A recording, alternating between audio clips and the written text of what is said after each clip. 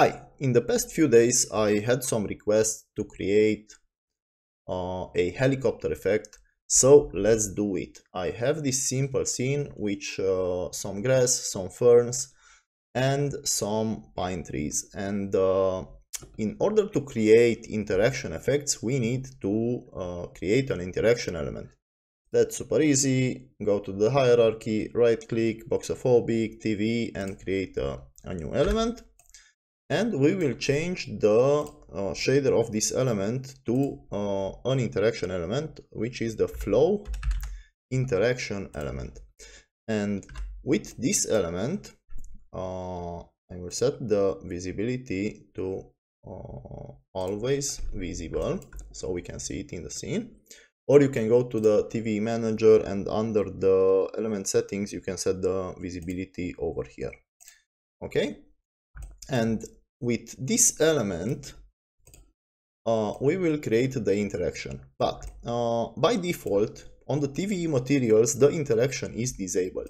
In order to enable the, the interaction you will need to select the prefab open the material manager or go to the material and under the motion settings we have these use flow elements and we need to enable it. And once this is enabled we can use the motion primary interaction or the motion second interaction. And the primary motion is adding bending uh, to the objects and the second motion is creating a uh, noisier animation. Uh, we will see it in in a moment uh, on the uh, pine trees. So for the grass i only want to add uh, interaction for the bending and all I need to do is to increase the uh, interaction slider and uh, for this tutorial I'm using TVE21 uh, if you are using a previous version this was called uh, push mask but uh, I think it is more intuitive to be called interaction. I don't know, I, I didn't do it like that from the beginning. And now this element is bending the grass. To add a uh, helicopter-like effect, all we need to do is to go to the flow interaction element and enable this uh, noise uh, slider to set the noise slider to a higher value.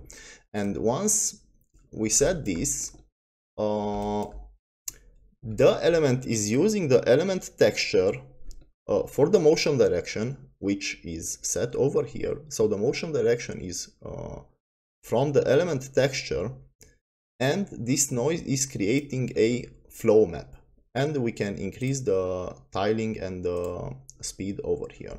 So in this way, if I scale it up, we are creating this uh, radial uh, flow map uh, for a helicopter effect.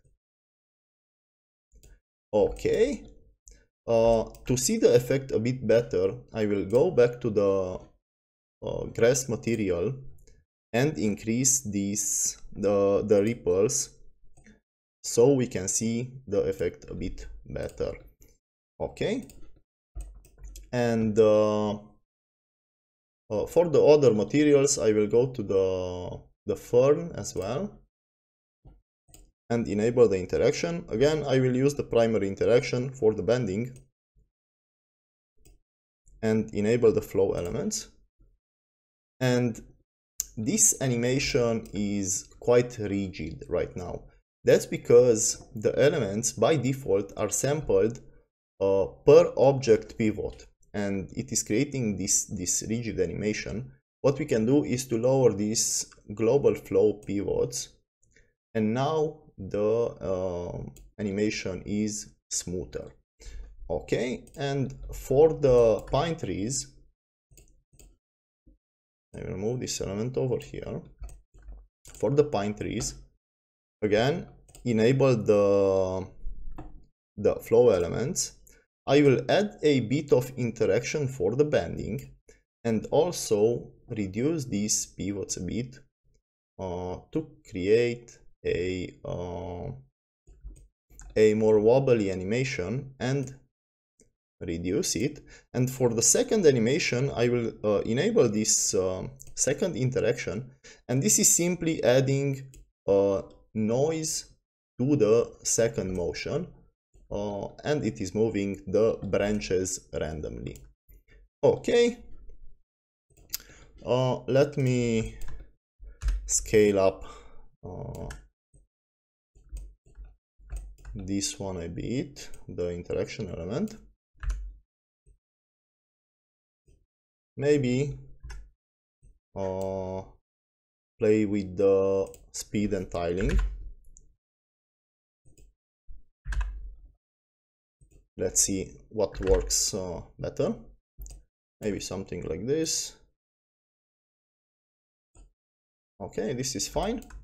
But uh, with a helicopter effect uh, if you move the element up it doesn't matter uh, at uh, uh, what position it is placed it is always uh, rendered because the elements are rendered in top down so we can enable the raycast fading to fade out this element at a certain distance from the ground. But uh, for the ground we need to set a layer uh, so we can use the, the raycast layer to only uh, perform the raycast uh, for that layer and uh, not for the other objects. So I will move this one to the water layer for instance and on the element I will choose to only uh, raycast from the element to the water layer. I will uh, choose the water and disable the default layer. And now I will uh, enable the raycast fading. And I want this uh, ray distance. This is the, the maximum ray distance for the checking. I will set it to a high value, maybe uh, 50 and for the raycast limit, I want to uh, set this limit. Uh, this is actually the how how long the raycast is. So I want to uh, set this raycast at uh, 10 meters. And once this is reaching uh, 10 meters uh, from the ground, it is starting to fade in and fade out like this. So I will set it maybe to um, 20 meters and uh, now if I move this element up it is slowly fading out. If I move it down it is slowly fading in. I will hide it so we can see the effect better on the uh, on the meshes.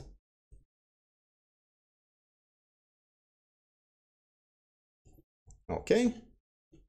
And you can also uh, set this uh, start the raycast start uh, value if you want to uh, fade in instead of having uh, a fade from 0 to 20 meters we can set it to uh, 10 and if it will be fading in a bit faster Okay, and you can move this effect around.